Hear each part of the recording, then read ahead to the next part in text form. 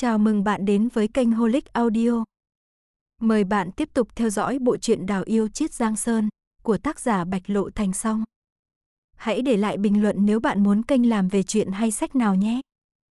Chương 71. Ai cũng có những bí mật riêng, đặc biệt là những người quyền cao chức trọng như thừa tướng. Bí mật của họ thường rất nhiều và phức tạp, vì vậy, Đào Hoa không muốn dò hỏi hay can thiệp vào chuyện riêng của Thẩm tại giã. Đêm qua, coi như nàng chưa từng gặp hắn. Quay trở về tranh xuân các, đào hoa chìm vào một giấc ngủ ngon. Sáng hôm sau, nàng thức dậy, trang điểm nhẹ nhàng và mặc y phục thanh lịch, sau đó đến lăng hàn viện để thỉnh an. Việc thỉnh an trong phủ luôn tuân theo quy củ nhất định, nhưng Khương Đào Hoa ít khi tham gia. Hoặc là nàng không có mặt trong phủ, hoặc là đang bị thương và không thể thỉnh an. Do vậy, lần này nàng đến thỉnh an khiến mọi người trong phủ cảm thấy ngạc nhiên và thú vị. Trong phủ luôn có quy củ thỉnh an, nhưng Khương Đào Hoa ít khi tham gia, khi thì không ở trong phủ, khi thì bị thương không tiện. Lần này nàng đến thỉnh an, khiến mọi người trong phủ cảm thấy ngạc nhiên. Ơ, Khương Nương Tử đến thật à?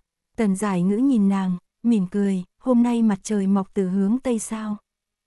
Bên trong căn phòng có bốn người, bao gồm cả Mai Chiếu Tuyết. Liễu Hương Quân đã đến từ sớm và đang mỉm cười nhìn đào hoa. Bên cạnh nàng còn có đoàn vân tâm, người mà đào hoa đã gặp trong hoa viên hôm qua. Đào hoa chưa kịp nhìn kỹ đoàn vân tâm, đã vội vàng chào hỏi phu nhân trước, thiếp thỉnh an phu nhân. Mai chiếu tuyết nở nụ cười và đưa tay ra, hiếm khi nào ngươi đến đây, hãy ngồi xuống trước đi.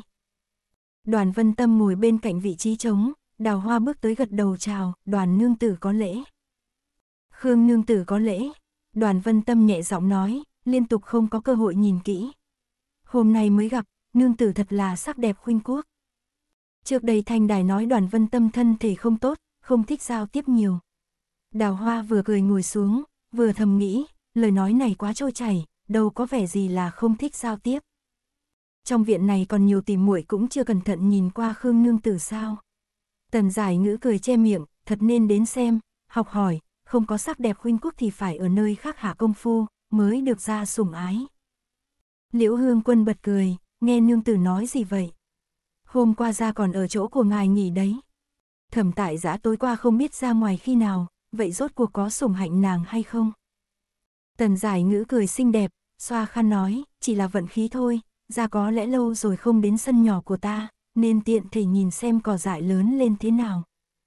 Nương tử đừng khiêm tốn, Liễu Hương Quân nói, ai mà không biết ra hôm qua phá lệ ở hải đường viện đến canh canh năm. Thường ngày thì tầm, đều là canh ba trở về lâm vũ viện. Nói đến đây, lại nhìn Khương Đào Hoa, che miệng nói, thiếp nói thường ngày không kể Khương Nương Tử, ra ở tranh xuân các liên tiếp vài ngày cũng là bình thường. Tần giải ngữ cười mà như không, nhìn Đào Hoa nói, đúng vậy, ra ở viện của ta đến canh năm cũng là chuyện lạ, với Khương Nương Tử, chắc là chuyện tầm thường. Đào Hoa kinh ngạc, nhìn tần giải ngữ, thăm dò hỏi, ra thật ở hải đường viện đến canh năm sao? Vẫn luôn ở đó. Ngươi hỏi gì vậy? Tần giải ngữ bĩu môi, chẳng lẽ ra trên đường còn đi đâu được? Tần giải ngữ không phải kẻ ngu ngốc, dù thầm tại giã có lý do gì để rời đi giữa chừng, nàng cũng nên nhận ra. Làm sao hắn có thể làm điều đó mà không bị phát hiện? Hơn nữa, nhìn bộ dáng của tần giải ngữ, quả thực là có điều gì đó. Sắc mặt nàng ta ửng hồng hơn so với bình thường, và trong mắt đầy ắp tình ý. Thẩm tại giã chẳng lẽ có thể phân thân sao? Sáng sớm tinh mơ, không thể đổi chủ đề sao. Mai chiếu tuyết lên tiếng, thản nhiên nói, một phòng đầy mùi chua, cũng nên thông gió chút ít. Tần giải ngữ ngẩn ra, vội ngồi thẳng, cười nói, phu nhân nói đúng, thiếp chỉ đùa các nàng thôi. Ra là của mọi người, sủng ai không sủng ai, chúng ta có gì phải tranh. Tần giải ngữ lén liếc đào hoa, trên mặt có chút đắc ý, lại có chút cao ngạo. Cái cảm dương cao, giống như một con công đang xòe đuôi. Vài ngày trước, trên khuôn mặt tần giải ngữ còn đầy dẫy oán khí. Vậy mà bây giờ, khí sắc của nàng ta lại tốt hơn rất nhiều, điều này chỉ có thể là do thầm tại giã ban tặng. Vậy, làm thế nào mà thầm tại giã có thể rời khỏi hải đường viện vào nửa đêm mà không bị tần giải ngữ phát hiện?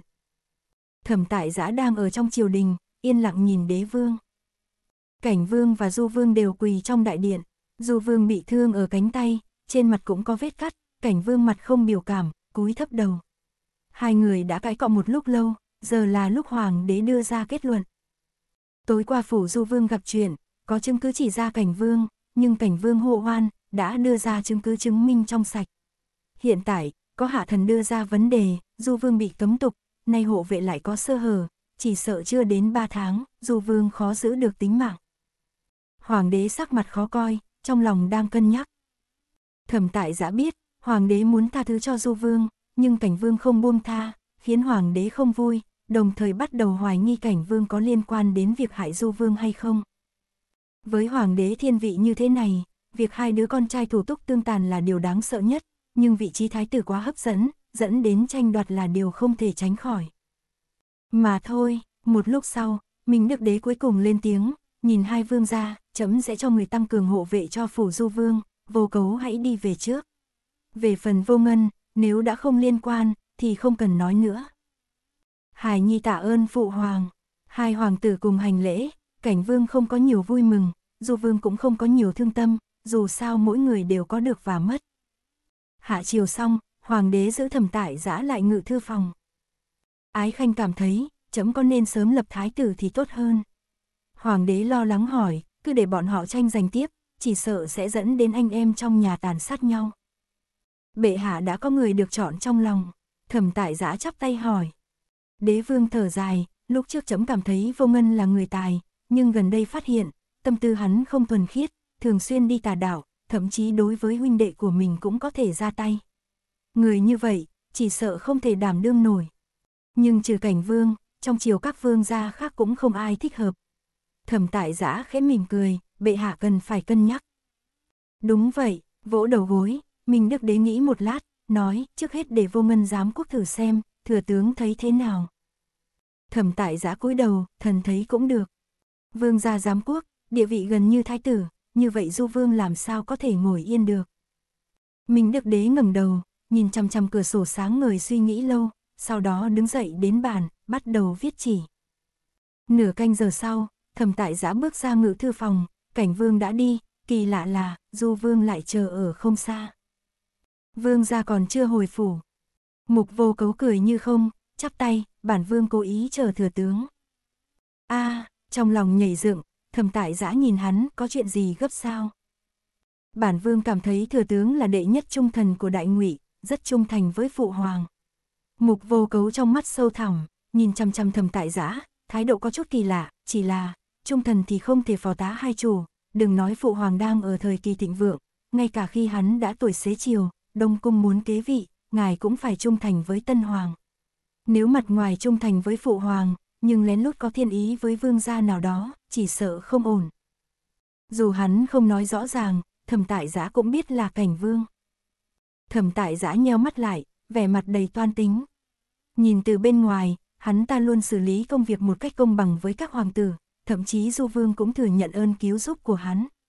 Vậy tại sao hắn ta lại đột ngột nói ra những lời như vậy? Thẩm mỗ không rõ ý tứ của Vương gia. Cười cười, hắn hỏi, Vương gia có thể nói rõ hơn chút. dù Vương khẽ cười, bước đến gần thẩm tại giã và nói, nếu không có sự giúp đỡ của thừa tướng tối qua, e rằng hôm nay bản vương đã bị cảnh vương huynh áp chế và tiếp tục giam cầm trong phủ. Bản vương hiểu rằng thừa tướng có thể đã bị cảnh vương huynh đe dọa nên buộc phải hỗ trợ, và không hề có ý định trách móc thừa tướng. Tuy nhiên, bản vương mong rằng thừa tướng sẽ làm gương cho các quan lại khác, không nên tham gia vào việc tranh đoạt quyền lực. Thẩm tại giã cảm thấy lòng nặng chịu, cúi đầu. du vương làm sao biết được tối qua hắn đi giúp cảnh vương. Lời nói xuông không có nghĩa lý gì. Bản vương thực lòng ngưỡng mộ tài đức của thừa tướng, nên mới đợi ở đây. Mục vô cấu nhìn hắn chầm chầm và nói, ngôi vị hoàng đế tương lai sẽ thuộc về ai vẫn còn chưa định, thừa tướng hà cớ gì phải mạo hiểm tính mạng. Thẩm mỗ hiểu rõ, đa tạ vương gia đã tha thứ. Chắp tay, thẩm tại giã mang vẻ mặt ấy náy nói, có điều thỉnh thứ cho thẩm mỗ không thể nói quá rõ ràng, nhưng vương gia phải biết rằng, thẩm mỗ chỉ trung thành với duy nhất hoàng thượng. Mục vô cấu khẽ vuốt cầm và nói, bản vương tin tưởng thừa tướng. Hai người đối diện nhau hành lễ, du vương sau đó xoay người đi trước. Thẩm tại giã đứng tại chỗ, nụ cười trên mặt dần tan biến, nắm chặt tay lại. Hắn từ lâu đã biết rằng trên đời này chỉ có thể tin tưởng chính mình, nhưng giờ đây lại ngu ngốc tin tưởng một người phụ nữ. Chuyện hắn ra khỏi phủ tối qua, ngoài Khương Đào Hoa, không ai biết. Khương Đào Hoa tính toán hơn hắn, giờ lại đang tính toán điều gì. Mang theo một bụng tức giận về phủ, thẩm tại giã muốn xông thẳng đến tranh xuân các để hỏi cho ra lẽ. Nhưng khi xuống xe, cơn gió lạnh thổi qua khiến hắn tỉnh táo hơn đôi chút. Hắn có oan uổng nàng hay không? Nàng vốn không quen biết Du Vương, lại không có bất kỳ liên lạc nào với ai ở Kinh Thành, vậy làm thế nào mà tin tức lại lan truyền ra ngoài? Suy tư một lát, thẩm tại giã xoay người đi về phía thủ vân viện. Đoàn vân tâm có chút ngạc nhiên, đón hắn vào cửa, nhẹ giọng hỏi, ra sao vừa hạ chiều đã đến. Rất lâu rồi không thăm ngươi, tiện đường ghé qua. Khẽ mỉm cười, thẩm tại giã nhìn nàng, thân thể tốt hơn chưa? Khá hơn nhiều, tạ ra quan tâm. Đoàn vân tâm cười cười, thoạt nhìn có chút bất an. Thẩm tại giã không lên tiếng, cứ nhìn chằm chằm nàng, trong mắt đầy vẻ tìm tòi nghiên cứu. chương 72 Từ khi vào phủ, đoàn vân tâm ít khi trò chuyện và không tranh giành sủng ái trước mặt thẩm tại giã. Trong lòng hắn, nàng là một người phụ nữ thấu hiểu và biết điều. Tuy nhiên, thẩm tại giã không hề ngốc nghếch, hắn nhớ rõ đoàn vân tâm là con gái của đoạn thế nam, kẻ luôn có mối liên hệ với Du Vương.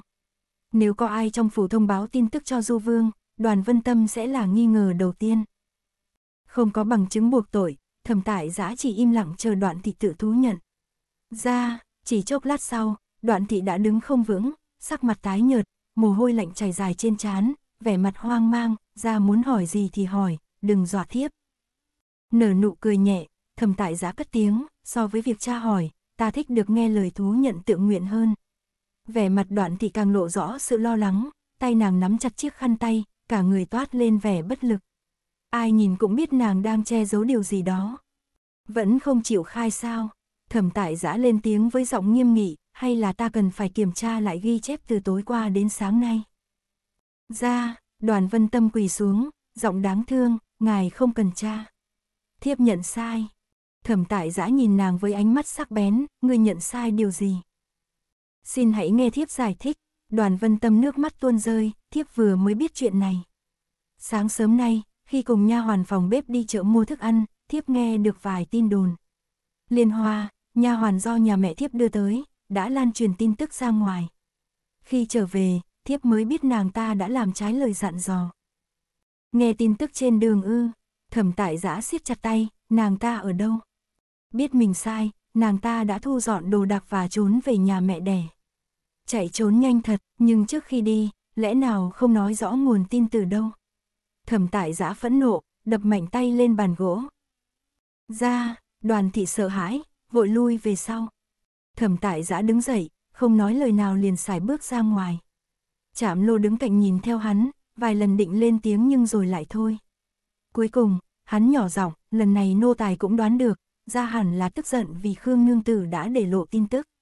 Chạm lô, nô tài có mặt, thẩm tại giã quay ngoắt lại, nhìn chạm lô bằng ánh mắt sắc bén, nếu còn dám đoán mò tâm tư của gia, ta sẽ cắt lưỡi ngươi. Chạm lô, tại sao chứ, trước đây bảo ta đoán, giờ đoán đúng lại muốn cắt lưỡi ta. Chạm lô bực bội cúi đầu, thầm nghĩ, đúng là phụ nữ hay thay đổi, chủ tử cũng vậy thôi. Thẩm tại giã không đi tranh xuân các, một mạch trở về lâm vũ viện. Trong thư phòng, hắn đờ đẫn suốt hai canh giờ. Chiều đến, đào hoa mang bánh đào hoa đến thư phòng thỉnh an. Nàng tự nhủ, dù thầm tại giã không sủng ái mình, cũng cần duy trì mối quan hệ tốt đẹp. Nếu hắn giận mình, sẽ chẳng có lợi gì. Nhưng khi đến thư phòng, lại bị chạm lô ngăn cản. Để ta mang điểm tâm vào. Đào hoa khẽ mỉm cười, sẽ không làm phiền việc của gia đâu. Xin nương tử quay về. Chạm lô lắc đầu, gia đang bận, không muốn tiếp khách. Không phải bệnh đậu mùa mà, sao gia lại không muốn gặp ai? Đào hoa bĩu môi, đặt mâm bánh trước cửa, cao có hỏi, ngươi khẳng định ta không thể vào sao? Vâng, chạm lô nghiêm túc gật đầu. Được rồi, đào hoa gật đầu, lùi lại vài bước và thì thầm với thanh đài, ngăn hắn lại. Thanh đài gật đầu, tiến lên cùng chạm lô rằng co. Chạm lô cao mày, nương tử có ý gì? Không có gì, chỉ để nàng ở đây canh chừng, xem ra không muốn gặp riêng ta, hay là không muốn gặp bất kỳ ai. Đào hoa cười khẽ, rồi bưng mâm bánh rời khỏi lâm vũ viện. Chạm lô nơm nớp lo sợ, thanh đài tuy biết võ nhưng chưa từng giao chiến với nàng, nên không rõ sức mạnh thực sự. Chỉ nhìn hơi thở mạnh mẽ của thanh đài, hắn đã cảm thấy áp lực và lo lắng. Bất đắc dĩ, chạm Lô chỉ biết tập trung cao độ nhìn chằm chằm thanh đài, lo lắng nàng sẽ bất ngờ tấn công khiến chủ nhân tức giận. Trạm Lô và thanh đài đều có võ công ngang nhau, nhưng về trí tuệ và mưu lược thì lại thiếu hụt. Trạm Lô không hề suy nghĩ về lý do đào hoa rời đi, mà chỉ tập trung để phòng thanh đài tấn công. Đào hoa bưng mâm bánh, đi vòng ra sau tường viện. Sau một hồi suy tính, nàng cẩn thận giấu bánh vào tay áo rồi bắt đầu leo lên tường. Tường viện này không cao như cung điện, nên việc leo trèo cũng không quá khó khăn. Chỉ sau một lát, đào hoa đã leo vào trong, lấy bánh ra khỏi tay áo và bày biện sẵn sàng trên bàn. Gần đây, đào hoa chưa bao giờ phải vất vả đến thế để mang bánh cho người khác. Nếu không có sự kiên trì và quyết tâm phi thường, thẩm tại giã cũng không thể thưởng thức được món bánh ngon này. Khen ngợi mình chút, đào hoa nhanh chóng chạy đến cửa sổ, mở cửa sổ ra. Thẩm tại giã đang xem sổ sách, cửa sổ bên trái đột ngột bị mở, hù hắn suýt ném sổ ra ngoài. Ngươi làm gì? Thấy rõ người, sắc mặt hắn trầm lại, quy củ trong phủ, không có tác dụng với ngươi sao? Đào hoa giật mình, cảm thấy hôm nay thẩm tại giã đặc biệt nóng này, có phải nàng không nên đến? Nhưng, nàng tự làm ra bánh ngon như vậy, ngay cả thanh đài cũng khen ngon, chỉ muốn hắn nếm thử, sao lại phản ứng lớn như vậy? Thiếp, thiếp mang bánh đào hoa đến cho chàng. Đào hoa e rè bưng mâm bánh, chạm lô nói không cho vào cửa, thiếp mới phải leo qua cửa sổ. Thiếp không hề muốn xâm phạm, xin chàng đừng giận. Nhìn vẻ mặt tội nghiệp của đào hoa, mắt nàng long lanh, môi nhỏ mím chặt, như một đứa trẻ ngoan ngoãn bị cửa trách, vô cùng đáng thương. Trước đây, thầm tại giã có thể siêu lòng trước vẻ đáng yêu của đào hoa, nhưng hôm nay, sắc mặt hắn vô cùng lạnh lùng, chỉ liếc nàng một cái rồi gắt gỏng, mang bánh về đi, không có lệnh của ta, không được phép đến đây. Đào hoa nghiêng đầu, giọng đầy vẻ ngây thơ, Thiếp đã làm gì sai khiến chàng giận dữ vậy. Người quả là thông minh, thẩm tại giã mỉm cười nhưng trong lòng lại hờ hững, nhưng không biết làm chuyện sai trái sao. Dù có sai thật, với tài ăn nói khéo léo của mình, đào hoa cũng có thể dễ dàng thoát tội. Vì vậy, thẩm tại giã không muốn tốn lời tranh cãi. Bị lời nói của thẩm tại giã làm cho bất ngờ, đào hoa khựng lại, mâm bánh trên tay run rẩy. Nàng nhìn hắn với ánh mắt hoang mang, muốn hỏi điều gì đó nhưng lại không biết phải mở lời ra sao.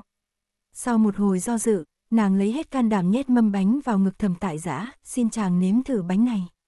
Nếm xong tiếp sẽ cáo lui, ánh mắt thầm tại giã tối sầm lại. Hắn quăng mâm bánh lên bàn một cách thô bạo, rồi nhìn đào hoa với vẻ mất kiên nhẫn, chạm lô. Chạm lô vừa kết thúc trận đấu với thanh đài, vội vã chạy vào phòng. Nhìn thấy tình hình căng thẳng, hắn hoảng hốt lên tiếng, Khương Nương Tử, lẽ ra ngài không nên quay lại. Thiếp, thiếp lại quay lại, đào hoa cố nở nụ cười gượng gạo, nhưng trong lòng lại cảm thấy lạnh lẽo bởi thái độ lạnh lùng của thầm tại giã. Nàng lui lại hai bước, e rè lên tiếng, thiếp không muốn làm phiền ngài làm việc, xin phép cáo lui. Nói xong, chạy nhanh như thỏ. Thẩm tại giã không vui liếc chạm lô, ngươi làm việc như vậy, ta yên tâm sao? Chạm lô vội quỳ xuống, ra yên tâm, trừ khi có phân phó của ngài, nô tài sẽ không để Khương Nương Tử đến gần sân này nữa. Mấp máy môi, thầm tại giã phất tay, người đi ra ngoài, trên tường viện thêm đinh thủy tinh. Nữ nhân có thể tùy ý leo tường, sao ta an tâm? Dạ, chạm lô vội vàng lui ra. Cửa sổ đóng sầm lại, thầm tại giã quay trở lại bàn, nhìn chằm chằm vào mâm bánh. Bánh trắng ngần, trông rất ngon mắt, nhưng ai mà biết được đào hoa đã làm gì với nó. Trên đường trở về tranh xuân các, đào hoa mang tâm trạng nặng nề. Nàng không thể hiểu nổi vì sao Thẩm tại giã lại đột ngột thay đổi thái độ. Có lẽ vì triều chính phiền nhiễu, nên không có sắc mặt tốt. Tốt nhất nên hạn chế tiếp cận hắn trong thời gian này để tránh gặp rắc rối. Chủ tử, thanh đài cất tiếng hỏi với vẻ mặt đầy e dè, phải chăng ra đã ghét bỏ chúng ta? Có thể lắm, đào hoa thở dài, nhún vai, hãy nhẫn nại chờ đợi một thời gian. Dù sao cố thì cũng sẽ được sủng ái, đến lúc đó chúng ta sẽ không còn phải chịu khổ nữa. Vâng, đúng như dự đoán, đêm đó thẩm tại giã đã đến ôn thanh các. Cố Hoài Nhu sợ hãi than thở. Đào Hoa đã nói rằng hôm nay thẩm tại giã sẽ sủng ái nàng, và quả thật hắn đã đến. Nàng hiểu ý hắn muốn gì. Thiếp, thiếp sợ hãi, thiếp vẫn đang trong thời gian chịu phạt mà được ngài sủng ái. Cố Hoài Nhu cúi đầu hành lễ, giọng nói run run, liệu có hợp quy củ không ạ? Tướng phủ của ta, quy củ nào có thể trói buộc ta? Thẩm tại giã cười, đưa tay đỡ cố Hoài Nhu đứng dậy, phụ thân ngươi đã giúp ta rất nhiều, lại còn ủy khuất con gái của mình, ta làm sao có thể phụ lòng ông ấy được. Cố Hoài Nhu nở nụ cười rạng rỡ, vô cùng sung sướng. Nhờ nghe lời cha, cuộc sống của nàng đã trở nên tốt đẹp hơn nhiều. Trong sân, những người khác không khỏi cảm thấy bất mãn. Họ thắc mắc, dựa vào đâu mà cố Hoài Nhu đang chịu phạt lại được thị tầm. Sang ngày thứ hai, thẩm tại giã đã ra lệnh miễn tội cho cố thị. Chỉ cần nàng từ bỏ thói hư tật xấu và hướng thiện, chuyện cũ sẽ được bỏ qua thật là hoang đường. Liễu Hương Quân đỡ đoàn thị dạo bước trong hoa viên, vừa đi vừa lẩm bẩm, nhìn thế này, rõ ràng là ra không hề quan tâm đến mạnh tỷ tỷ. Cảm ơn bạn đã ghé thăm kênh Holic Audio, chương 73. Đoàn Vân Tâm khẽ thở dài, chuyện này chẳng phải rất bình thường sao? Nếu như ra thực sự quan tâm đến mạnh thị, hắn sẽ không dễ dàng bỏ qua nàng. Nhưng như vậy thì còn đâu quy củ trong phủ nữa. Liễu Hương Quân nói với vẻ không hài lòng, cố thị phạm sai lầm nhiều lần, vậy mà vẫn được ở lại phủ, thậm chí không bị trừng phạt, lại còn được ra sủng ái. Người cũng đã ở trong phủ này một thời gian rồi. Đoàn Vân Tâm nhìn Liễu Hương Quân, hay là ngươi chưa hiểu? Chuyện trong phủ này từ trước đến nay đều do tướng ra quyết định, không hề có quy củ gì.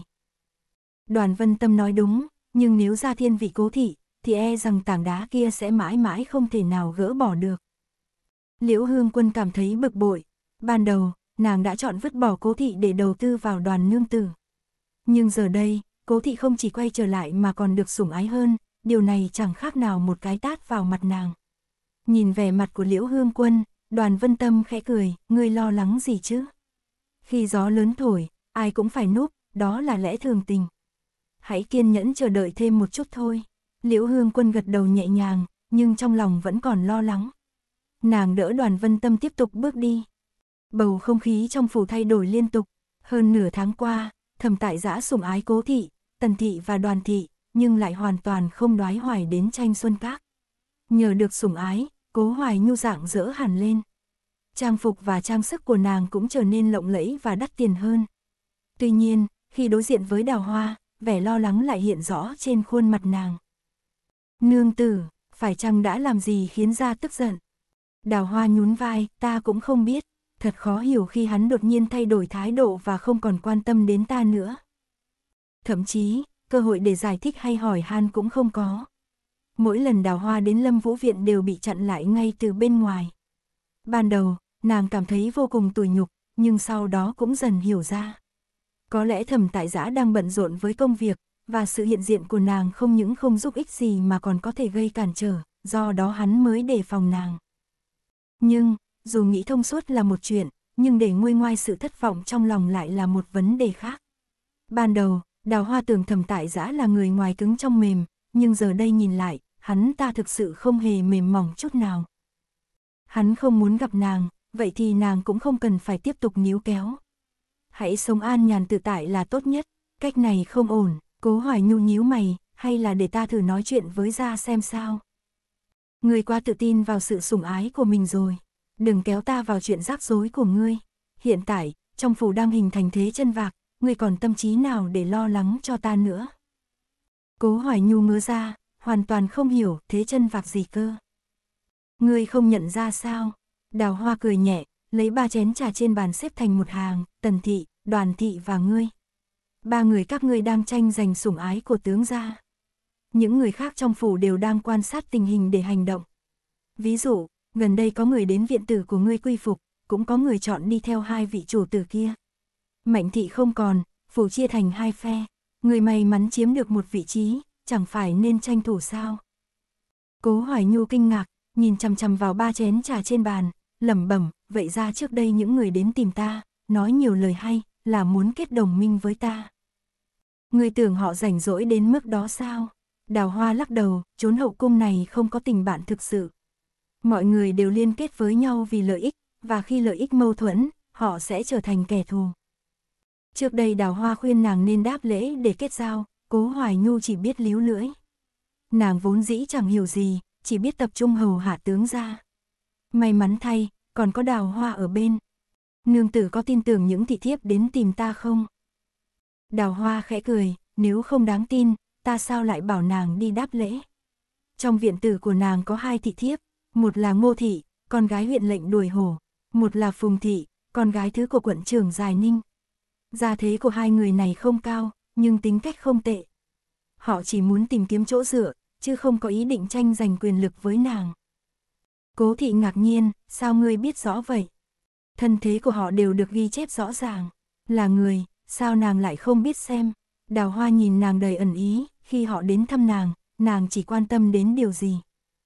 Nhìn trang phục và lễ vật của các nàng. Đào hoa. Hai người im lặng đối diện nhau, sự im lặng này ẩn chứa một sự thỏa thuận ngầm. Nếu không có Khương Đào Hoa, Cố Hoài Nhu chắc chắn không thể sống sót trong phủ này. Mâu thuẫn giữa các nương tử trong phủ đã âm ỉ từ lâu, nhưng đến giờ họ mới nhận ra thay vì lo lắng về cố thị, chúng ta nên loại bỏ Khương thị. Chỉ cần giải quyết được nàng ta, mọi chuyện sẽ dễ dàng hơn nhiều. Liễu Hương Quân quỳ gối trước mặt Tần Giải Ngữ, nụ cười ẩn chứa ý đồ, hỏi, nương tử nghĩ sao? Tần Giải Ngữ nhíu mày, suy nghĩ một chút nói, ra hiện tại đã vắng vẻ nàng, chúng ta cũng không có biện pháp gì khác để làm gì nàng. Tần Giải Ngữ nhíu mày, suy tư một lúc rồi nói, ra hiện tại đang sủng ái Khương Thị, chúng ta không thể làm gì được nàng ta. Chẳng phải ra ngầm đồng ý sao? Tần giải ngữ nhíu mày, ta cũng nghe loáng thoáng về chuyện này. Lý do ra ngầm đồng ý thì chúng ta không rõ, nhưng Khương Thị là nữ quyến của tướng gia, chắc chắn có điều gì đó kiêng kỵ mà chúng ta không thể làm. Nương tử thông minh như vậy, ắt hẳn sẽ có cách giải quyết. Liễu Hương Quân cúi thấp giọng, nhìn Tần Thị đầy ẩn ý. Tần giải ngữ trầm ngâm một lúc, ngẩng đầu nhìn Liễu Hương Quân, ngươi thật biết cách khuấy động mọi chuyện. Nương tử quá khen rồi, thiếp chỉ muốn giúp đỡ nương tử mà thôi, để có thể tiếp tục yên ổn trong phủ này. Liễu Hương Quân cười nhẹ, từ từ đứng dậy, đây chỉ là ý kiến của thiếp, nương tử hãy cân nhắc và quyết định.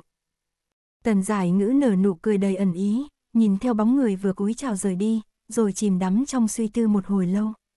Đến ngày Nam Vương viếng thăm phủ, thẩm tại giã đã đứng chờ sẵn ở cửa với vẻ mặt bình thản. Khi mục vô hạ xuất hiện, hắn cúi đầu cung kính hành lễ, vương ra.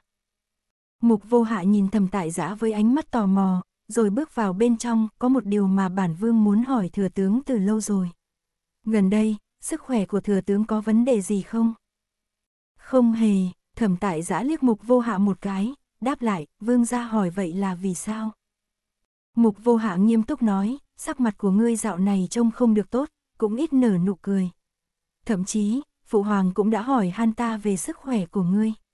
Phải chăng ngươi đang gặp nhiều áp lực trong công việc, khiến cho tinh thần trở nên mệt mỏi? Thẩm tại giã mím môi, gạt bỏ câu hỏi của mục vô hạ, thay vào đó, hắn hỏi, Phụ Hoàng đã hỏi han gì về ta ư? Ngài cũng đã đến đây. Hôm nay không phải đã ban chỉ cho cảnh vương giám quốc rồi sao? Mục vô hạ nói, tất cả các hoàng tử đều đang ở ngự thư phòng nghe huấn, vậy mà phụ hoàng lại nói ra một câu như vậy. Tâm thần khẽ động, thầm tại giã khẽ nhíu mày, nhìn mục vô hạ, nghe tin cảnh vương được giao quyền giám quốc, vương gia có suy nghĩ gì không?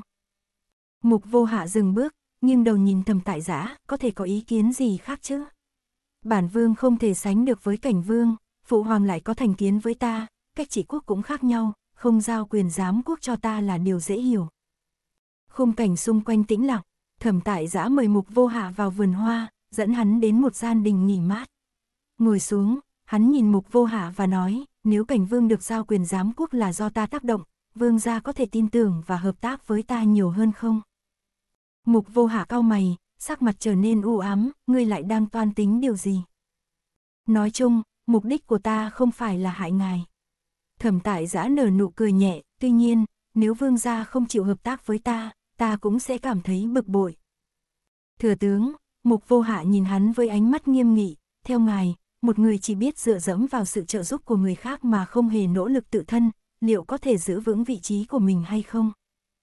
Ngài không phải không làm gì, thẩm tại giã khẽ mím môi, chỉ cần cố gắng học hỏi kinh nghiệm trị quốc từ Hoàng thượng là đủ thôi. Mục vô hạ đứng bật dậy, ánh mắt lóe lên sự tức giận, thừa tướng xem ta như một công cụ, một con rối, hoàn toàn không quan tâm đến cảm xúc của ta. Ngài muốn ta dựa dẫm vào ngài ư, thật là viển vông. Bầu không khí trở nên căng thẳng, thầm tại giã im lặng, không thể thốt lên lời. Theo kế hoạch của hắn, chỉ trong vòng 2 năm, Nam Vương hoàn toàn có thể sánh ngang với Thái tử. Tuy nhiên, nếu hắn không hợp tác, mọi chuyện sẽ trở nên phức tạp hơn, và thầm tại giã không hiểu vì sao mục vô hạ lại không thể nhận ra điều đó.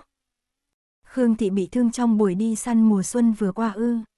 Mục vô hạ quay đầu, giọng điệu đầy quan tâm, ta muốn đến thăm nàng. Nhắc đến đào hoa, thầm tại giã cao mày, đã lâu rồi, vết thương của nàng ấy đã lành hẳn. Còn gì để xem nữa? Hơn nữa, nàng ta chỉ là một nữ nhân trong phủ, vương gia nên giữ khoảng cách. Bản vương coi nàng như tỷ tỷ. Mục vô hạ nói, gặp mặt cũng không được. Tỷ tỷ ư, thầm tại giã khẽ cười lạnh. Tỷ tỷ của hắn ôn nhu hiền hậu, hoàn toàn khác với sự mưu mô xảo quyệt của Khương Đào Hoa. Trong khi bầu không khí bên chỗ thừa tướng đang trở nên căng thẳng, tại tranh Xuân Các, Đào Hoa vừa hoàn tất việc trang điểm. Nam Vương sắp đến, dù thầm tại giã không muốn gặp Đào Hoa, nhưng Tiểu Vương ra lại mong gặp nàng. Vì vậy, Đào Hoa vẫn trang điểm cẩn thận và chuẩn bị một chiếc gối thêu mới để tặng Tiểu Vương ra. Khương Nương Tử, giọng nói của người hầu vang lên từ bên ngoài, tướng ra mời ngài mang điểm tâm đến vườn hoa. Vâng, Đào Hoa gật đầu, nàng dặn dò thanh đài mang theo một ít điểm tâm, rồi ôm chiếc gối thêu, vui vẻ bước về phía ngự hoa viên. Thẩm tại giã muốn ngăn cản, nhưng ngay cả Nam Vương cũng không thể làm gì. Mục vô hạ bước vào với phong thái đĩnh đạc, nghe thấy tiếng gọi Vương ra. Ánh mắt mục vô hạ sáng lên, hắn ngẩng đầu nhìn thấy Khương Tị đang đứng ở cửa, ôm chiếc gối thêu và nở nụ cười rạng rỡ với hắn. Thẩm tại giã cao mày, đứng dậy nhìn Khương Đào Hoa tiến đến, ánh mắt sắc bén toát lên sự không hài lòng. Hơn nửa tháng không gặp, giờ đây nhìn thấy Đào Hoa, thẩm tại giã không khỏi ngỡ ngàng. Nàng gầy đi trông thấy, thân hình mảnh mai khiến hắn lo lắng. Liệu có phải nàng không ăn uống đầy đủ chăng? Nhưng bây giờ không phải lúc nghĩ những chuyện này, hắn không gọi, nàng cũng dám tự tiện gặp Nam Vương. Thiếp chào ra, Nam Vương ra, trên mặt cười sáng lạn, đào hoa nâng gối đầu đưa tới Nam Vương, đây là tạ lễ, do thiếp tự tay thêu, mong là Vương ra đừng ghét bỏ. chương 74 Mục vô hạ ngạc nhiên, nhận lấy chiếc gối và xem xét kỹ hơn. Chiếc gối được thêu bằng lụa màu xanh lam với hoa văn tinh xảo, tỏa ra mùi hương thảo mộc nhẹ nhàng, thoang thoảng mùi thuốc an thần. Nhìn kỹ, những bông hoa được thêu bằng chỉ bạc với hoa văn cầu kỳ, chứng tỏ người thêu đã bỏ rất nhiều tâm huyết. Cảm ơn, mục vô hạ mỉm cười và ôm chiếc gối, nhìn đào hoa với ánh mắt chiều mến, người thật chu đáo. Đào hoa khẽ cười, quỳ gối xuống và nói, vương gia đã cứu thiếp khỏi nguy hiểm lần trước, đây là món quà nhỏ để bày tỏ lòng biết ơn của thiếp. Thẩm tại giã nheo mắt, giọng nói lạnh lùng, ai bảo ngươi đến đây. Ơ, đào hoa nghiêng đầu nhìn thẩm tại giã, nhướng mày, chẳng phải ra đã dặn thiếp đến gặp vương gia sao. Ta không có, thẩm tại giã nhìn đào hoa với ánh mắt lạnh lùng, ngươi đừng tưởng rằng mình muốn đến đây nên cố tình kiếm cớ. Đã lâu rồi hắn không gặp đào hoa, nên có thể đoán được nàng có nhiều tâm tư. Nam Vương đến phủ là một cơ hội tốt, và với sự thông minh của mình, đào hoa chắc chắn sẽ tận dụng nó. Tuy nhiên, việc nàng tặng gối cho Nam Vương ngay trước mặt hắn khiến hắn nghi ngờ về lòng trung thủy của nàng. Đào hoa mặt mày trắng bệch, nhìn thầm tại giã với vẻ tức giận. Nàng không cần suy đoán cũng biết chuyện này chắc chắn có kẻ nào đó bày trò. Nữ nhân trong phủ này sao lại như vậy? Nàng đã thất sủng hơn nửa tháng rồi mà họ vẫn không buông tha cho nàng. Việc họ cố gắng gán tội cho nàng bằng mọi giá có ích lợi gì cho họ. Hai người đang làm gì vậy? Mục vô hạ ngạc nhiên nhìn thầm tại giã và đào hoa, trước đây hai người không phải rất thân thiết sao? Sao giờ gặp nhau lại ầm ĩ vậy? Đào hoa tỏ ra vô tội, nhìn thầm tại giã, thở dài và nói, lòng người đàn ông như kim dưới đáy biển, không thể nào đoán được. Thẩm tại giã cười lạnh lùng, rõ ràng là ông châm đuôi sau, lòng dạ đàn bà mới là độc nhất. Mục vô hạ im lặng, không biết nói gì. Bỗng chốc, Mục vô hạ cảm thấy hai người trước mặt mình không giống với vị thừa tướng đương triều và công chúa triệu quốc mà ông từng biết. Việc họ cãi vã ở mỹ như vậy chẳng khác gì trẻ con. Hắn bất đắc dĩ nói, nếu có gì cần nói thì hãy nói thẳng thắn, đừng vòng vo tam quế. Nên nhớ, vợ chồng dù chỉ chung chăn gối một đêm cũng có tình nghĩa trăm ngày. Khương Thị mới vào phủ được hơn hai tháng mà thôi. Đào hoa nhún vai, nhìn thầm tại giã với vẻ vô tội, thiếp không hề có ý muốn giấu giếm, chỉ là ngài không muốn nghe. Cho đến giờ, thiếp vẫn không hiểu mình đã phạm lỗi gì. Nói được gì hay ho nữa, thẩm tại giã mỉa mai, bất trung một lần, vĩnh viễn không thể tha thứ. Mở ra mặn hòa thượng, còn có thể tiếp tục ăn chay. Nếu không nể mặt vương gia, ngươi ngay cả cơ hội lên tiếng cũng không có. Lòng đào hoa chợt lạnh gáy, cơn tức giận dâng trào, trên pháp trường người ta còn muốn phân bua, giết người cũng phải có lý do. Ngài đã không minh bạch mà kết luận thiếp sai, thiếp có thể chấp nhận sao? Mục vô hạ gật đầu, cần phải nói rõ ràng hơn, nếu không rất dễ dẫn đến hiểu lầm. Thẩm tại giã nghiến răng, làm thế nào để hắn giải thích cho rõ ràng. Nửa đêm lén lút ra ngoài giúp đỡ cảnh vương, kết quả tin tức bị đào hoa tiết lộ, khiến du vương được truyền ngôi. Nam vương vốn không ưa thích việc hắn lén lút làm những chuyện này, vậy làm sao có thể nói ra. Nhìn bộ dáng vô tội của Khương Đào Hoa, thầm tại giã lại càng tức giận. Nữ nhân này rốt cuộc có bao nhiêu phần thật lòng, bao nhiêu phần giả dối. Hành động khéo léo khiến hắn không thể phân biệt được thật giả, điều đó càng khiến hắn lo sợ hơn. Đào Hoa vốn không tức giận, bởi vì giữa nàng và thẩm tại giã vốn không có bất kỳ sự tin tưởng nào. Tuy nhiên, nàng không hề có tội mà bị vu không oan ức, vậy ai sẽ chịu trách nhiệm? Ít nhất cũng phải nói cho nàng biết rõ ràng sự việc là thế nào, để nàng không phải chịu tiếng oan lâu như vậy. Bầu không khí căng thẳng và ngượng ngùng bao trùm căn phòng. Mục vô hạ đứng đó, ra đầu tê rát, để giải tỏa bầu không khí, hắn dứt khoát kéo tay đào hoa và nói, hôm nay thời tiết đẹp lắm, Khương tỷ tỷ hãy cùng ta ra ngoài dạo chơi nhé. Lại đi ra ngoài nữa sao? Thẩm tại giã tức giận nhưng không biết phải nói gì, vương ra, xin hãy giữ gìn thân phận. Đừng thường xuyên đi chơi với những kẻ loạn thất bát tao. Ngươi mới là kẻ gây rối, cả nhà ngươi đều là kẻ gây rối. Đào hoa tức giận, hung hăng chừng mắt nhìn thầm tại giã.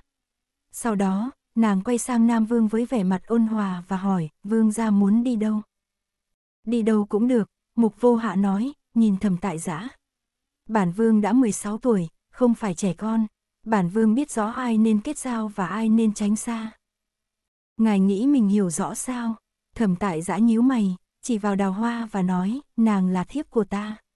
Nếu ngài đi cùng nàng ra ngoài, ngài nghĩ mọi người sẽ nghĩ gì? Nói về thiếp của thừa tướng, mục vô hạ nhìn hắn với ánh mắt không vui. Làm thế nào mà Khương Tỷ Tỷ lại từ vị trí chính phi của bản vương trở thành thiếp của thừa tướng? Chẳng lẽ thừa tướng không nhớ chuyện này sao? Thẩm tại giá im lặng. Dù sao, chính hắn là người đã cướp đi vị trí chính phi của Khương Đào Hoa. Hiện tại, hai người xem nhau như tỷ đệ và cùng nhau đi chơi, nhưng bên ngoài không ai biết về mối quan hệ của họ. Nếu ngăn cản, thẩm tại giã cũng cảm thấy có chút bất nhẫn. Đào hoa liếc nhìn thẩm tại giã với nụ cười nửa miệng, ánh mắt lạnh lùng như băng giá, nếu thừa tướng đồng ý, thiếp sẽ đi ngay. Thẩm tại giã quay mặt đi, cố nén cơn giận trong lòng.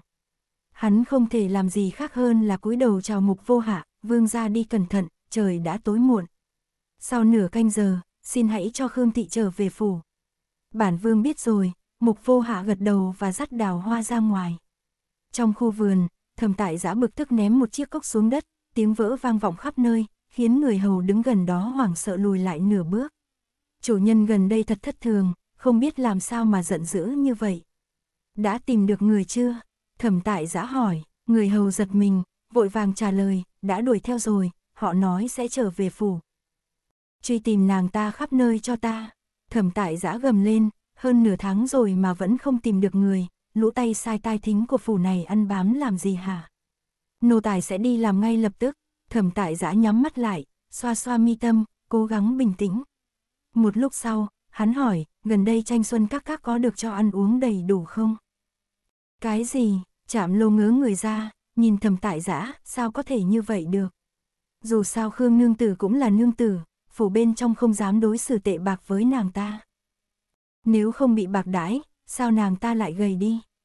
Thẩm tại giã nhíu mày, bực bội tột độ, vung tay áo và đi về phía ôn thất.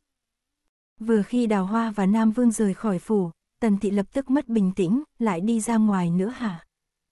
Hắn ta thật không biết tránh hiểm nghi là gì, ra nghĩ gì vậy mà lại đồng ý cho nàng ta đi. Mai Chiếu Tuyết nở nụ cười dịu dàng, cắt cành hoa cắm vào bình. Chuyện của Khương Thị và Nam Vương không thành, đều do ta gây ra. Ta tha thứ cho họ cũng là chuyện bình thường, nhưng ta vẫn phải đề phòng, chỉ cho phép Khương Thị ra ngoài nửa canh giờ. Thì sao, vẫn là cho nàng ta đi ra ngoài thôi. Tần Thị không vui vẻ, mỉm cười chua chát, nếu đã cho đi ra ngoài thì đừng quay lại nữa. Mai Chiếu Tuyết ngừng bóp hoa, nhìn Tần Thị với ánh mắt suy tư. Vừa bước ra khỏi phủ thừa tướng, đào hoa cảm thấy tinh thần sảng khoái hẳn. Lên xe ngựa, nàng không tìm được mà nói với Nam Vương, cảm ơn ngài, những ngày qua bị nhốt trong phủ khiến thiếp sắp phát điên. Mục vô hạ nhìn nàng với ánh mắt trong trẻo và nói, Khương tỷ tỷ dường như đã chọc giận thừa tướng không ít nhỉ. Hắn ta bị thần kinh rồi, đào hoa buột miệng nói, rồi nhìn thấy vẻ mặt ngạc nhiên của Nam Vương, vội vàng giải thích, hắn ta không hiểu lý lẽ nên mới giận dữ, tiếp thật sự vô tội mà. Gần đây thừa tướng có vẻ hơi khác thường, mục vô hạ nhíu mày suy tư, nghe nói trước mặt phụ hoàng cũng chẳng vui vẻ gì, còn hay tranh cãi với người khác trên triều đình. Tính khí của hắn ta quả thật nóng nảy. Đào hoa khẽ vuốt cằm, thiếp chỉ biết là phụ nữ mỗi tháng có mấy ngày tâm trạng thất thường, không ngờ thừa tướng cũng vậy. À, mục vô hạ nhìn nàng với vẻ tò mò, vì sao phụ nữ lại thất thường. Đào hoa gượng cười, vỗ nhẹ vào chán mình, trước mặt hắn ta chỉ là một đứa trẻ, sao nàng lại nói linh tinh vậy? Không có gì, đừng hỏi thêm nữa, bây giờ chúng ta đi đâu? Mục vô hạ nhìn nàng bối rối, rồi nhìn ra ngoài cửa sổ. Nếu nàng muốn giải khuây, hãy bảo phu xe chờ chúng ta đi quanh kinh thành một vòng. Nửa canh giờ là đủ. Được thôi, đào hoa gật đầu, nhìn vào mắt hắn, nụ cười càng thêm dịu dàng. Thiếp đã chuẩn bị gối cho vương gia, vương gia còn nhớ chứ. Rất êm ái và không hề thô giáp, bên ngoài gối còn bọc da kiều mạch theo phương pháp đông y. Nam vương nhìn nàng với vẻ ngỡ ngàng, giọng nói có chút kỳ lạ, ngươi thật sự coi bản vương như đệ đệ sao? Thiếp xin thứ lỗi, đào hoa cúi đầu e rè, nhưng mà ngài thực sự khiến người ta muốn che chở, bảo vệ. Mặc dù khuôn mặt Nam Vương có đôi mắt sáng và lông mày thanh tú, nhưng nhìn chung vẫn còn trẻ trung, có chút ngây thơ như trẻ con. dáng người cao thẳng tắp, luôn mang vẻ nghiêm nghị của một vị vương gia, khiến hắn vô cùng giống với đệ đệ trường quyết của đào hoa. Mục vô hạ nhìn nàng với vẻ ngạc nhiên, rồi cúi đầu nhìn lại bản thân, lẩm bẩm, ngươi thật kỳ lạ. Mọi người đều cho rằng hắn có tính cách kỳ quái, dữ dằn, chỉ có đào hoa mới thấy hắn cần được che chở, bảo vệ. Tuy nhiên, hắn mím môi và khẽ vuốt ve chiếc gối trong tay. Cảm giác được ai đó coi như đệ đệ và yêu thương như vậy thật sự đã rất lâu rồi hắn mới được trải nghiệm. Xe ngựa di chuyển rất nhanh, bởi vì kinh đô rộng lớn, cho dù chỉ đi một vòng quanh nửa thành phố cũng mất khá nhiều thời gian. Đào hoa vén rèm cửa nhìn ra ngoài, phát hiện phía trước giường như là một khu ổ chuột. Nhiều người tơi tả rách dưới, ôm bát đũa vỡ nát nằm la liệt khắp nơi, hoàn toàn khác biệt với cảnh phồn hoa đô hội bên trong thành phố. Đây là vết nhơ của kinh đô đại ngụy. Bên cạnh nàng, tiểu vương ra nhỏ giọng nói, kẻ thừa mứa thì phung phí, kẻ thiếu thốn thì không có lối thoát. Bọn quan lại trong thành chỉ lo hưởng thụ vinh hoa phú quý, mặc kệ người ngoài kia chết đói. Họ còn dám tô vẽ cho phụ hoàng về cảnh thái bình thịnh vượng, ôi chao ôi, những kẻ vô nhân đạo này. Đào hoa sướng sờ, lòng xót xa trào dâng. Nàng không khỏi hỏi hắn, vương gia có lòng nhân ái như thế, sao không mở cháo từ thiện để giúp đỡ người dân nơi đây? Không thể. Cái gì? Đào hoa kinh ngạc quay đầu nhìn hắn, vì sao chứ? Đất nước này đang điêu tàn. Nàng tưởng rằng với lòng nhân ái của tiểu vương gia, hắn nhất định sẽ làm việc thiện như vậy. Cháo từ thiện chỉ giúp đỡ được nhất thời chứ không thể giải quyết vấn đề lâu dài. Cứu được vài chục người thì làm sao cứu được cả thiên hạ. Muốn cứu vất họ, ta phải lên ngôi vị hoàng đế mới được. Mục vô hạ mím môi, đường nét trên khuôn mặt căng ra, ánh mắt bừng lên vẻ quyết tâm mãnh liệt. chương 75 Đào hoa hoảng hốt, vô thức vung tay lên che kín miệng hắn, đồng thời lén lút nhìn xung quanh. Ngài điên rồi sao, nếu lời nói của ngài lọt vào tai người khác thì sao? Mục vô hạ trừng mắt nhìn nàng, gỡ tay nàng ra và nói, chỗ này không có ai ngoài chúng ta, ta nói nhỏ thôi, không sao đâu. Vương gia không phòng bị thiếp sao? Đào hoa trừng mắt nhìn hắn, chỉ vào chóp mũi mình và nói, thiếp mới quen ngài không lâu, sao ngài có thể khẳng định thiếp sẽ không nói ra? Mục vô hạ nghiêng đầu, vẻ mặt ngây thơ hỏi, nàng sẽ nói ra chứ? Sẽ không. Vậy là được rồi, hắn khẽ mỉm cười và nói, ta rất giỏi nhìn người, ai tốt ai xấu ta đều biết rõ, nàng không cần lo lắng. Đào hoa khẽ gật đầu, so với cảnh vương mù quáng kia, Nam Vương tuy còn trẻ nhưng lại là người biết nhìn người. Chỉ qua cách hắn đối xử với thẩm tại giã, vừa thân cận vừa đề phòng, đào hoa cũng biết tiểu vương gia này không phải là kẻ tầm thường. Còn đường tranh đoạt ngôi vị hoàng đế vốn dĩ đầy rẫy hiểm nguy. Đứa trẻ này không muốn đi theo con đường do thẩm tại giã vạch sẵn, vậy phía trước hắn sẽ gặp phải những gì? Xe ngựa tiến gần khu ổ chuột, ban đầu, dự định đi qua đây rồi quay về phủ tướng. Tuy nhiên, chiếc xe ngựa này mang vẻ ngoài lộng lẫy, cho thấy bên trong có thể là quan chức triều đình. Những người dân nghèo ven đường dần đứng dậy và đi theo xe ngựa. Thật phiền phức, đào hoa cảm thấy khó chịu trước những ánh mắt dò xét từ bốn phía, buông màn xe xuống và nhíu mày nói với người đánh xe, nhanh lên đi qua chỗ này. Vâng ạ, người đánh xe đáp, thúc ngựa hết sức, khiến xe ngựa lao đi vun vút. Nam Vương ngỡ ngàng, đang định hỏi chuyện gì xảy ra thì bỗng cảm thấy như trước mặt ngựa đụng phải thứ gì đó. Một tiếng bùm vang lên trầm đục. Người đánh xe vội vàng kéo ngựa lại, các hộ vệ bên cạnh xe cũng lập tức cảnh giác. Một người xuống ngựa đi ra phía trước xem xét, rồi quay lại báo cáo, vương ra, chúng ta đụng phải người rồi. Mục vô hạ mở to mắt, vén rèm bước xuống khỏi xe ngựa. Đào hoa nhíu mày, đành phải đi theo sau. Phía trước xe ngựa, một người đàn ông bị hất văng ra xa, máu tuôn ra từ miệng. Phu xe sợ hãi, mặt tái nhợt, đi theo sau mục vô hạ và nói, vương ra, người đó đột ngột lao ra đường, tôi phanh không kịp. Mục vô hạ bước đến xem xét tình hình, các thị vệ vội vàng xông đến, tách người đàn ông bị thương ra khỏi mục vô hạ, tạo ra một khoảng trống cho hắn. Người đàn ông bị thương là một thiếu niên gầy gò, dơ bẩn, ánh mắt vô hồn. Bên cạnh vũng máu, cậu bé cố gắng vung tay túm lấy vạt áo mục vô hạ nhưng bị các thị vệ ngăn cản. Thiếu niên ngước nhìn mục vô hạ, ánh mắt lướt qua chiếc mũ miệng vàng và bộ trang phục gấm vóc lộng lẫy trên người hắn. Trong mắt cậu bé hiện lên vẻ uất hận xen lẫn ngưỡng mộ, miệng lẩm bẩm nói gì đó không rõ.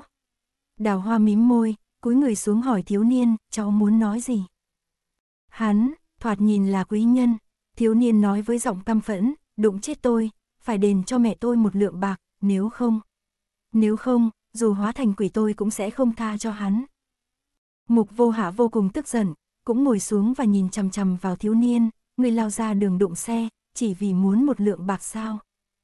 Mạng người sao lại rẻ mặt đến vậy, cậu bé này cũng chạc tuổi mình mà, sao lại chỉ đáng giá một lượng bạc. Có lẽ vì bị vẻ mặt hung dữ của mục vô hạ dọa sợ, thiếu niên cất giọng run rẩy và nói nhỏ, vậy. Vậy nửa lượng cũng được, hoặc là, cho em gái tôi hai cái bánh bao ăn cũng được.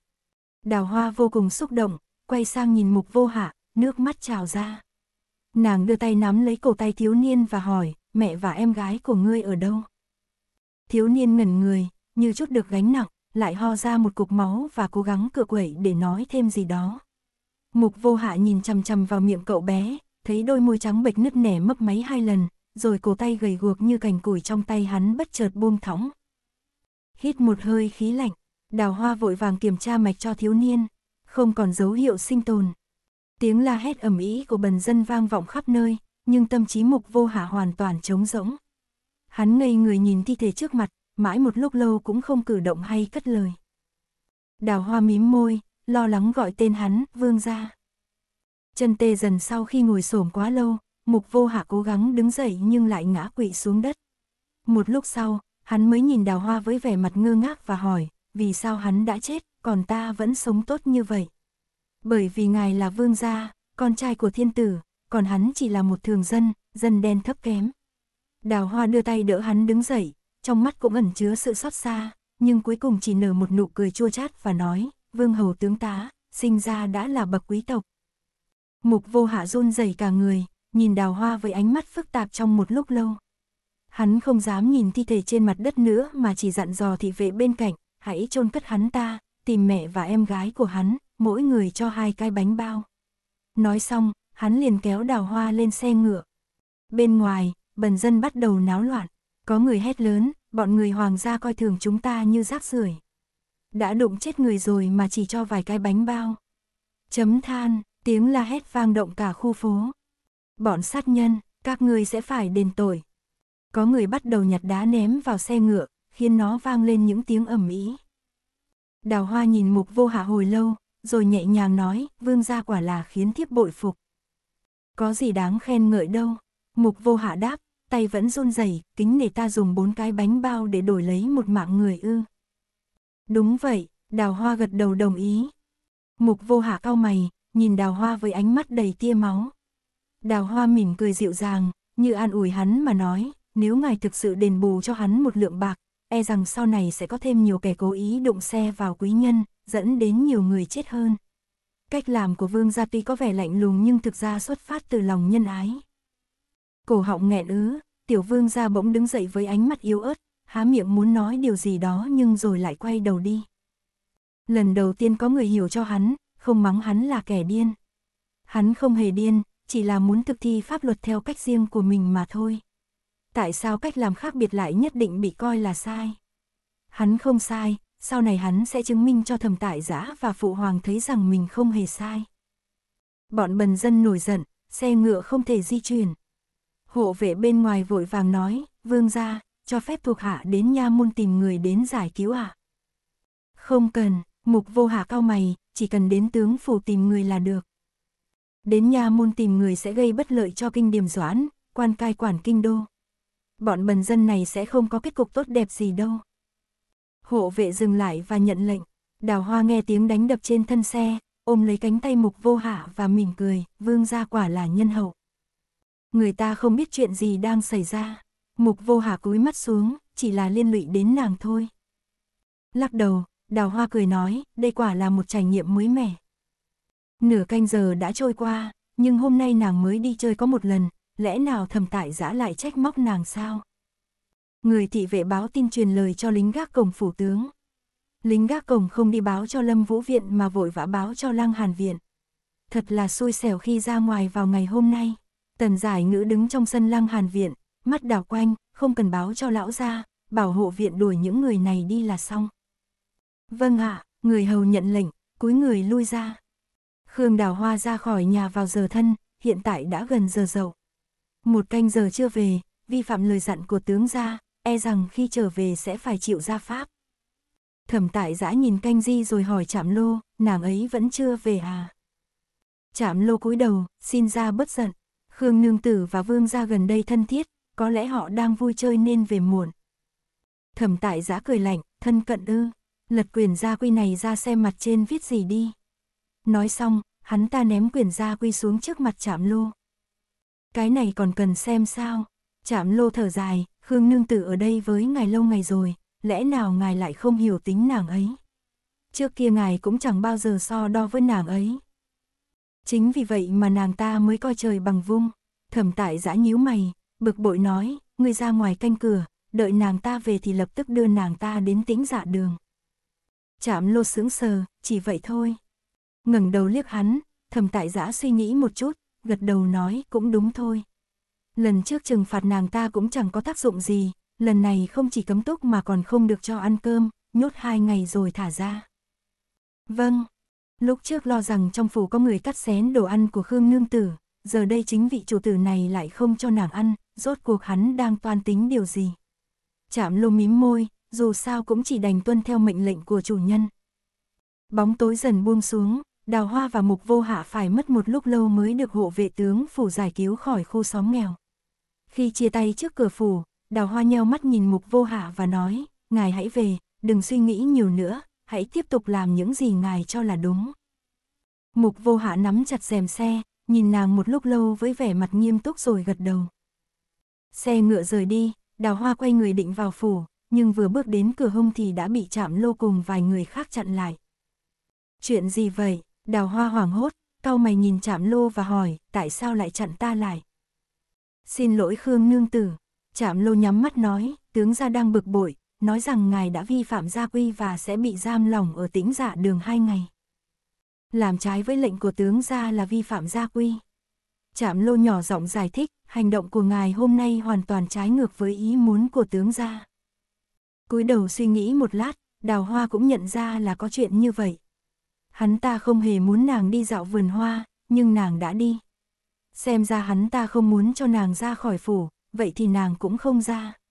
Nàng đã hứa sẽ quay lại sau nửa canh giờ, nhưng giờ đã trễ rồi. Nhưng mọi chuyện đều có nguyên nhân mà, hắn không thể nào không phân biệt đúng sai, đổ hết mọi tội lên đầu nàng được chứ. Chạm lô lắc đầu, ra lệnh cho người áp giải đào hoa vào tĩnh dạ đường. Cửa chính bị khóa chặt, bên trong không một bóng người. Lần trước còn có thanh đài ở đây, nhưng lần này thanh đài vẫn đang ở tranh xuân các, có lẽ không biết nàng đã bị giam lòng. Thẩm tại giã thật đúng là một kẻ vô lý. Phần này đến đây là hết. Mời các bạn theo dõi tiếp các video khác trên kênh. Nếu các bạn yêu thích kênh, hãy nhấn theo dõi nhé. Cảm ơn các bạn.